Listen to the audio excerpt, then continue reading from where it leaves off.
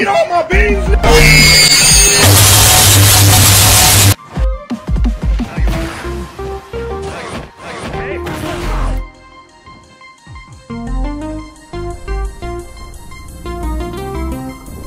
Cause we're just gonna kill him!